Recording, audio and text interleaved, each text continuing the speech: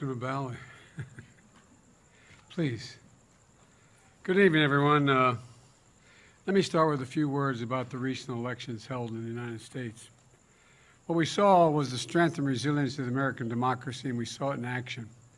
And the American people proved once again that democracy is who we are. And there was a strong rejection of election deniers at every level, from those seeking to lead our states and those seeking to serve in Congress, and also those seeking to oversee the elections. And uh, there was a strong rejection of political violence and voter intimidation. There was an emphatic statement that in America, the will of the people prevails. I have uh, I've traveled this week, and it's been clear just how closely the world and our allies and our competitors as well have been following our elections at home. Excuse me, I have a little cold. And what these elections showed is that there's a deep and unwavering commitment in America to preserving and protecting and defending democracy.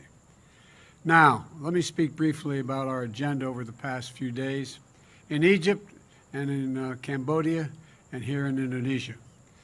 In this moment of great global challenges, from global inflation to the climate crisis to Russia's brutal war against Ukraine, we're bringing together the broadest possible coalition of partners to deliver results. at COP27 in Egypt, I made it clear that thanks to the bold agenda of our administration, we pursue from day one to tackle the climate crisis and advance energy and security at home and around the world. The United States will meet. The United States will meet our emissions target under the our targets under the Paris Agreement. And we're going to keep working with our partners to support the most vulnerable countries in building resilience to climate impacts and to uh, align global ambition with the 1.5 degrees Celsius goal while supercharging our clean energy transition. At the U.S. ASEAN Summit and East Asia Summit, I laid out a commitment for, to working with our partners in the Indo-Pacific to ensure a future that, uh, that's vital to this region, that's free and open and prosperous as well as secure. And uh, I met with our allies from Australia, Japan, and the Republic of Korea, underscoring our commitment and deepening our engagement with our closest partners and strengthening cooperation among our allies to meet shared threats to our own security and to this, their security, including the DPRK. And let me meet, uh, I, I, I, just met in person with Xi Jinping of the People's Republic of China. We had, excuse me, we had an open and candid conversation about our intentions and our priorities. It was clear he was clear and I was clear that we'll defend American interests and values, promote universal human rights, and stand up for the international order and work in lockstep with our allies and partners. We're going to compete vigorously, but I'm not looking for conflict. I'm looking to manage this competition responsibly. And I want to make sure, make sure that every country abides by the international rules of the road. And we discussed that. The one China policy, our one China policy has not changed has not changed. We oppose unilateral change in the status quo by either side, and we're committed to maintaining the peace and stability in the Taiwan Straits. It was also clear that China and the United States should be able to work together where we can to solve global challenges that require every nation to do its part. We discussed Russia's aggression against Ukraine, reaffirmed our shared belief in the threat or the use of nuclear weapons is totally unacceptable, and I asked that Secretary Blinken travel to China to follow up on our discussions and continue keeping the lines of communication open between our two countries. Looking ahead at the G20 meetings tomorrow, we're going to be talking, taking on the very issues that matter to the people's lives, not only here, but uh, also, uh, also our allies and our partners. That means tackling the suffering that Russia aggression has unleashed, not just in Ukraine people, but the people around the world, particularly food insecurity and strengthening the fundamentals of our global economy for everyone. Support for debt relief, reforms for multilateral development banks, investments to bolster global health security, and to make sure the world is better prepared for the next pandemic.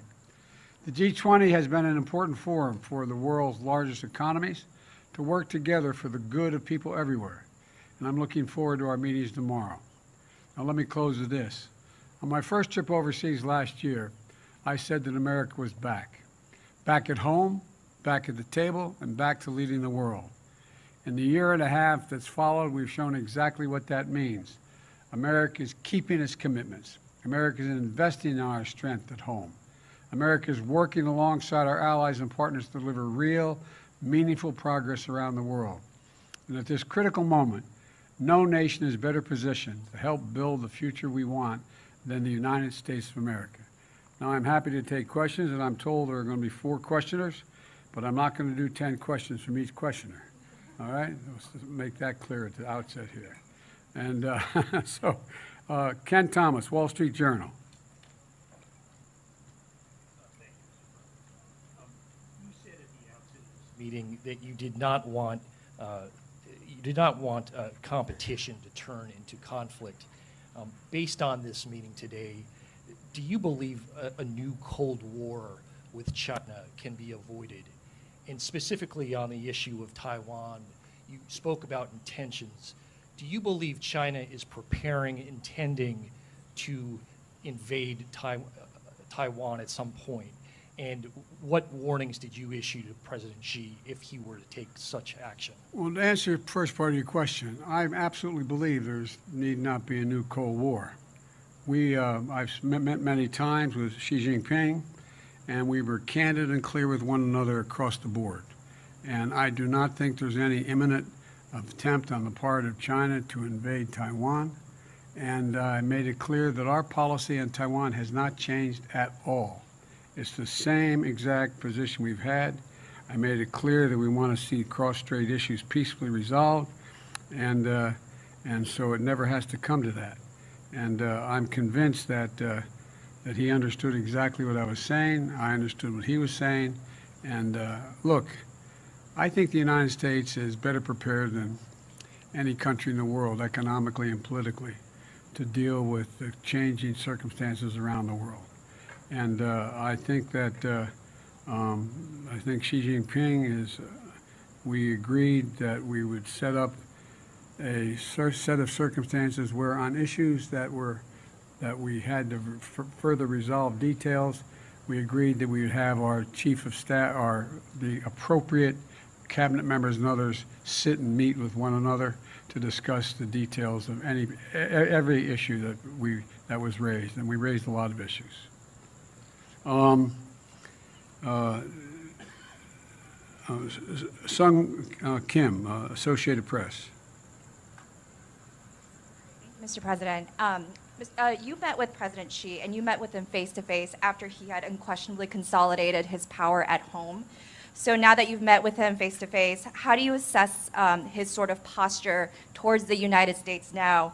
And did you find him personally to be more confrontational or more conciliatory and willing to compromise? Neither and yes. I, yes, I didn't find him more confrontational or more conciliatory. I found him the way he's always been, direct and straightforward. And uh, do I think he's willing to compromise on various issues? Yes. I think he understands that. Uh, look, I, I think, how can I say this tactfully? Um, I think the. Uh, I think the election held in the United States, which still leaves a little bit uncertain, uh, has sent a very strong message around the world that the United States is ready to play. The United States is, uh, you know, re- the Republicans who survived, along with the Democrats, uh, are of the view that uh, we're going to stay fully engaged in the world and that we, in fact, uh, know what we're about. Uh, and so I, I, don't get any sense that there's more or less confrontation. We were very blunt with one another about places where we disagreed or where we were uncertain of each other's position, and we agreed we'd set up, and we, we did, mechanisms whereby we would meet in detail with our the, the key people in each of our administrations to discuss how we could resolve them, or how, if they weren't resolved, on, on what basis were they not resolved. Um, Sebastian Smith, the, so, uh, uh, the uh, AFP. Thank you very much, Mr. President. It's extremely close. Excuse me, I don't usually talk that loudly. Does the retaking of Kherson in Ukraine signal a turning point in the war, in your opinion? um, that the Ukrainians, where the Ukrainians could realistically pursue their ultimate goal of expelling the Russians completely, uh, including retaking Crimea. If so, does the US intend to support and facilitate that goal as you've been doing so far with their other goals? Or would you perhaps see Kherson as a different kind of uh, inflection point, basically a good time to start negotiating now that they've got a, some more strength than they had you know, a few weeks ago? First of all, it was a significant, significant victory for Ukraine. Significant victory. And uh, I can do nothing but uh, applaud the courage, determination, and capacity of the Ukrainian people and the Ukrainian military. I mean, they have really been amazing. And uh, I, uh, I think it's hard to tell at this point exactly what it means in terms of, uh, but I've been very clear that we're going to continue to provide the capability for the Ukrainian people to defend themselves, and we are not going to engage in any negotiation. There's no nothing about Ukraine without Ukraine. It's a decision Ukraine has to make. I think you're going to see things uh, slow down a bit because of the winter months and the inability to move uh, as easily around the, the country. But uh, I think it remains to be seen exactly what the outcome will be except that I'm confident that Russia will not occupy or defend uh, uh, Ukraine as they intended from the beginning. Um, uh, I can't have trouble reading this. Reuters, uh, Bo- Bose. President, um, quick question um, on North Korea, uh, which appears uh, poised to uh, conduct a new nuclear test. Uh, I'm wondering if you can um, talk about your specific discussions with uh, President Xi on that. Uh, to what extent do you think China has the ability to talk uh, North Korea out of conducting such tests? And what are the repercussions for U.S. Chinese relations if a test goes forward? Well, first of all, uh, it's difficult to say that I am certain that that China can control North Korea. Uh, number one. Number two, I made it clear to uh, President Xi Jinping that I thought they had an obligation to attempt to make it clear to North Korea that they should not engage in long range nuclear tests. And I made it clear as well that if they did, they, meaning North Korea, that we would have to take certain actions that would be more defensive on, on our behalf, and it would not be directed against North Korea. I mean, excuse me, it would not be directed against China, but it would be to send a clear message to North Korea. We are going to defend our allies as well as American soil and American capacity. And so, uh, but uh, I do not think that uh, it's difficult to determine whether or not uh, um, China has the capacity. I'm confident China is not looking for North Korea to engage in further escalatory uh, means because I made it clear, and I made it clear from the very beginning and, and last year as well, that uh, we will do what it needs to defend our capacity, to defend ourselves and our allies, South Korea as well as uh, um, Japan, and that uh, it, it would be we'd be more up in the face of of, of uh, China, but it wouldn't be because of China. It'd be because of what was going on in North Korea. So, uh, and uh, again, on a number of these issues, we have put together teams where our National Security Advisor, Secretary of Defense, and others are going to be engaging with their counterparts from China to see, and we're not going to be able to work everything out. I'm not suggesting it's going to, this is kumbaya, you know, everybody is going to go away with everything in agreement. But I do not believe there's a need for concern of a, as one of you raised the legitimate question, a new Cold War. And uh, I think that, uh, I'll conclude by saying it this way. I want to be clear and be clear with all leaders, but particularly with Xi Jinping, that I mean what I say and I say what I mean. So there's no misunderstanding. That's the biggest concern is I have is a misunderstanding about intentions or actions on each of our parts. So we went into, I, I look at my team, how long did that meeting last?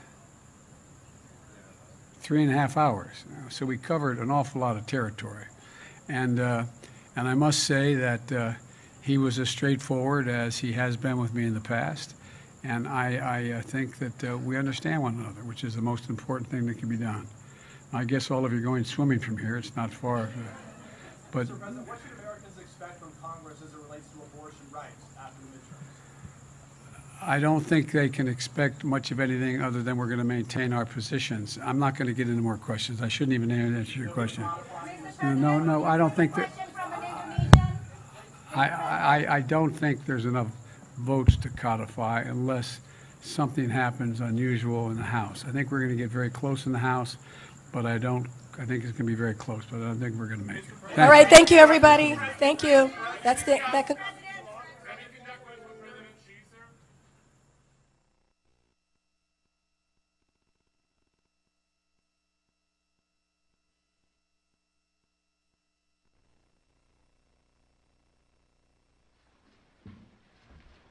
Good afternoon. Well, we had an election yesterday. And uh, it was a good day, I think, for democracy.